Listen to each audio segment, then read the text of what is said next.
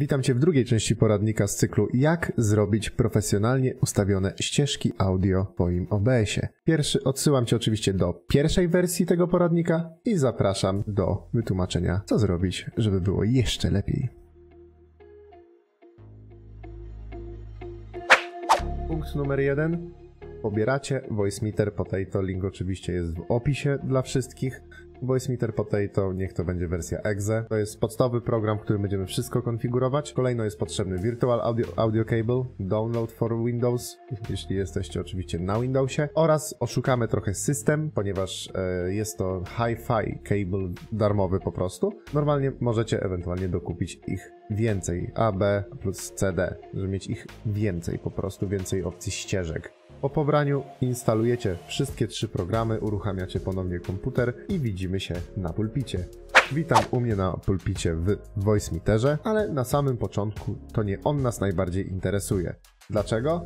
Ponieważ nasz system po instalacji wszystkich audiokabli musi wiedzieć skąd i dokąd ma przechodzić dźwięk. I teraz wchodzimy do panelu sterowania, dźwięk, dźwięk. I teraz jedna z ważniejszych rzeczy. Musimy ustawić co, skąd i dokąd idzie. A voice metera najprościej będzie ustawić w ten sposób, że voice meter input jest to główna ścieżka nasza systemowa, która będzie wchodzić do samego voice metera i ustawiamy tutaj jako domyślne urządzenie. A ja wybrałem jeszcze jedną opcję, czyli rozdzielić dźwięk domyślny i dźwięk komunikacyjny.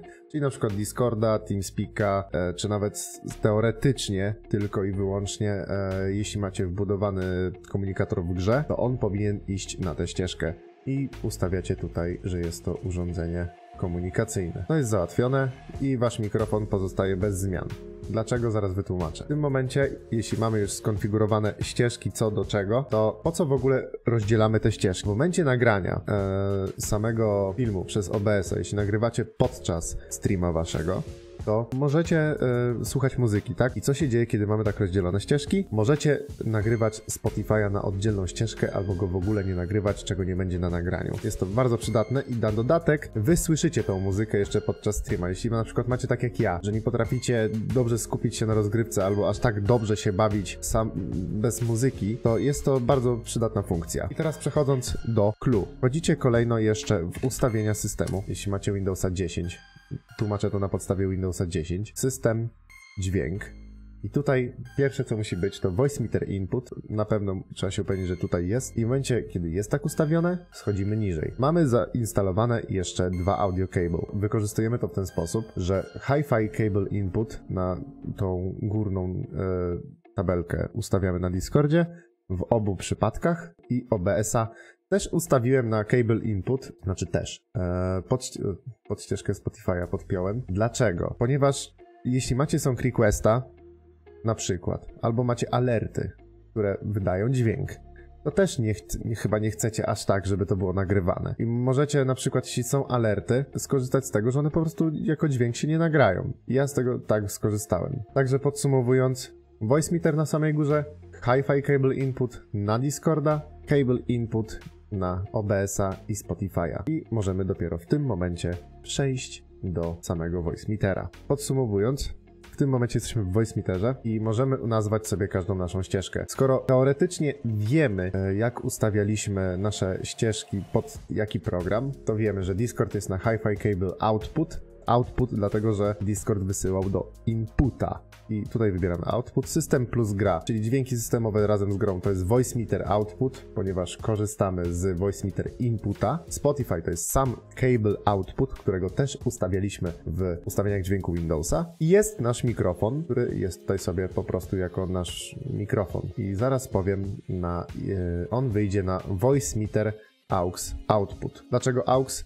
Tak po prostu korzysta, korzysta sam z voice, meter na pierwszej ścieżce, dlatego mikrofon jest na pierwszym miejscu. Kiedy, w momencie, kiedy to ustawicie, brakuje jeszcze ustawienia wyjścia dźwięku dla samego voice metera. I tutaj w miejscu A1 ustawiacie głośniki, głośniki z których korzystacie, z karty, kartę dźwiękową, z której do tej pory korzystaliście. To jest jeden z punktów. E, macie teraz tutaj opcje dodatkowe w samym voice meterze. Co zrobić, żeby w ogóle słyszeć w tym momencie Discorda, i Spotify'a, bo na pewno tego nie słyszycie, musicie zaznaczyć A1, A1, ponieważ A1 jest ustawione jako wyjście na wasze głośniki. Wy to słyszycie na waszych uszach, ludzie to słyszą, jeszcze tego nie słyszą w OBS-ie, ale zaraz do tego dojdziemy. Co jeszcze z dodatkowych bardzo przydatnych funkcji? Można na przykład ustawić sobie gate'a, którego ja zapomniałem ustawić po nagrywaniu podstawowej wersji poradnika. E, macie jeszcze oczywiście kompresor, który się przydaje, jeśli chcielibyście podgłośnić siebie. Tak brzmię bez kompresora, czasami mnie urywa, a tak będę brzmiał z kompresorem. Troszeczkę podbity dźwięk, pewnie też więcej szumów. E, pominąłem fakt podbijania ciepła basu w waszym głosie e, w pierwszej części poradnika, ponieważ e, tam najważniejsze było to, żeby odszumić swój głos. A w tym momencie tutaj mamy taki wstryczek, który możecie lekko w lewo przesunąć i będziecie od razu dużo cieplej brzmieć. Ale żeby było fajniej i dużo ciekawiej, możecie to samo zrobić dla ludzi z Discorda. Nie dość, że wy ich słyszycie dużo cieplej, to jeszcze ludzie na streamie będą ich słyszeć dużo cieplej. A czasami jest tak, że ludzie mają słaby mikrofon, a dać im odrobinkę basów na tych płaskich mikrofonach ze słuchawek naprawdę potrafi zmienić odczucie. Dodatkowo, jeśli ktoś na Discordzie. Ma na przykład słychać jego klawiaturę na tym speaku, y, słychać y, kogoś tam w tle, ale jest to w miarę ciche. Możecie ustawić gate'a, bramę, otwarcia też ich mikrofonów, jak robiliśmy to w wersji podstawowej na podstawie decybeli. Jest to do przebadania. Na przykład ktoś u was cały czas coś mówi, a potem na Discordzie lekko stuka w stół. I to słychać na Discordzie oczywiście. Czasami Discord tego nie odszumi i możecie tutaj ustawić sobie to na, na podstawie własnego doświadczenia. I teraz uwaga, jest protip. Jeśli korzystacie z Discorda i z VoiceMeetera, prawdopodobnie będzie, będą ludzie was słyszeć, jakbyście po prostu brzmieli jak robot. Teraz pokazuję najważniejszą rzecz, co zrobić, żeby tak nie było was słychać. Klikacie guzik Windowsa, wchodzicie w menedżer zadań i uruchamiacie go jako administrator. Wchodzicie w szczegóły po nazwie. Macie tutaj taką, e, taki proces jak Audio DG. Ustaw koligację i żeby ludzie was nie słyszeli jak robot, musicie odznaczyć wszystkie procesory i zaznaczyć tylko jeden rdzeń. Dlaczego ja z tego nie korzystam? Bo u mnie się tak nie dzieje, ale u moich znajomych się tak dzieje i to jest rozwiązanie na to. Po prostu VoiceMeter nie jest programem wielowątkowym. On potrafi korzystać z jednego wątku waszego komputera. Jeszcze jest jeden sposób na pominięcie tego, czyli ustawić w System Settings w samym OBS-ie 44100 kHz i buffer na 2048 oraz w panelu sterowania na każdym urządzeniu, z którego korzysta sam VoiceMeter, czyli VoiceMeter Input, AUX Input, Hi-Fi Cable Input i Cable Input, będzie ustawiacie w zaawansowanych 24 bit 44100 kHz. Dlaczego? Ponieważ VoiceMeter więcej nie odbiera. Dobrze, po wstępnej konfiguracji, jak widać, działa. Znaczy u mnie działa.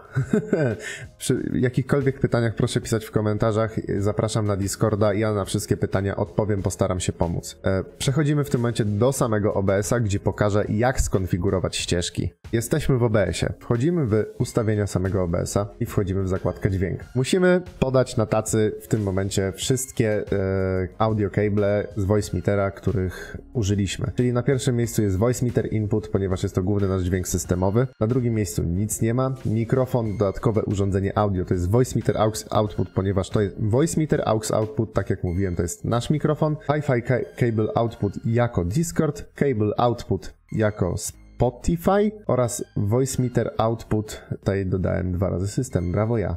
Te cztery nas interesują. Nie zamykamy, przechodzimy do wyjścia i teraz kolejny protip. Jesteśmy na ścieżce dźwięku jeden tylko i wyłącznie dla streama, ponieważ na stream idzie tylko jedna ścieżka dźwięku. Nagrywanie. Ustawiamy, że nagrywa nam się dźwięk tylko 2, 3, 4 ścieżka. Dlaczego 2, 3, 4? No ewentualnie 5, jeśli sami już będziecie potrafić e, skonfigurować, sobie wybierzecie jakąś piątą ścieżkę dla voicemetera, której ja nie użyłem. Zamykamy, przechodzimy tutaj prawem zaawansowane ustawienia dźwięku. Jesteśmy. Ja się usunę i jesteśmy w zaawansowanych ustawieniach dźwięku. Są tutaj ścieżki do wyboru dla każdego dźwięku, który jest dodany do OBS-a. Ówcześniej, e, jak dodaliśmy już wszystkie ścieżki dźwięku w ustawieniach, opisałem sobie każdą ścieżkę dźwięku, czyli system, Spotify, mikrofon, Discord. Tak to można sobie ustawić. Co nas interesuje? Interesuje nas Discord. Każdy Każda ta ścieżka jest na ścieżce pierwszej. Dlaczego? Bo każda ścieżka pierwsza musi iść na film. To nas interesuje. Dlaczego tak jest? Ponieważ Twitch i inne serwisy streamingowe nie obsługują więcej niż jednej ścieżki naraz. Ale po co nam jest ta ilość X ścieżek? Zaraz będę demonstrował oczywiście przykład podczas montowania filmu. Jesteśmy teraz na etapie, że wybieramy, które ścieżki mają się jako które pojawić. Wszystko idzie na ścieżkę pierwszą. Discord ustawiłem, że jest u mnie na ścieżce trzeciej, mikrofon na drugiej oraz system na czwartej. I na żadnej innej nie mogą być oprócz na pierwszej. Bo jeśli ustawimy, że na, dwa razy na przykład, że mikrofon i Discord są na jednej ścieżce, to ten dźwięk jako ścieżka dźwięku przy nagraniu nam się zleje. I jeśli to jest ustawione, można zamknąć. I każda ścieżka jest tutaj oddzielnie i tak jak tutaj macie opisane, tak wam się to nagra. Przechodzę do prezentacji w praktyce podczas montażu. Dobrze.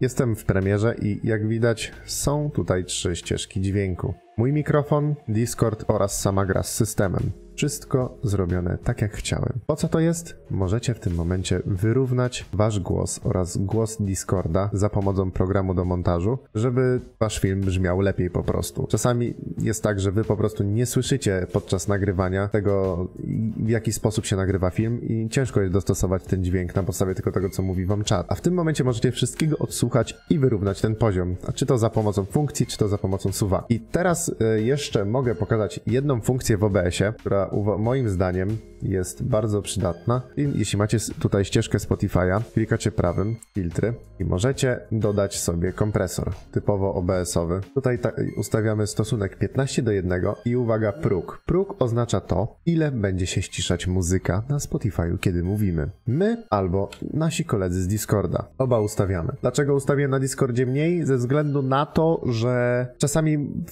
wygryzamy się w słowo i muzyka leci na totalne zero i to jest bardzo niefajne, a wystarczy już minus 40, kiedy ja mówię i ona jest i tak bardzo cicho. E, odpuszczenie po 600 milisekundach, późne odpuszczenie, żeby dać temu jeszcze chwilę na wejście i ustawiamy, że źródło poboczne to mikrofon, ponieważ ma to oddziaływać na mój głos. I robimy identycznie dla Discorda, tylko z mniejszą ilością decybeli. U mnie to około 28 decybeli, patrzyłem po prostu sobie na amplitudę, kiedy muzyka leciała tylko z tego korzystałem. Także wydaje mi się, że to wszystko. Dziękuję za obejrzenie tego jakże długiego poradnika. Może go trochę ukrócę, mam nadzieję. I zapraszam do mnie na streamy, zobaczyć inne odcinki, poradniki na YouTubie. Widzimy się później.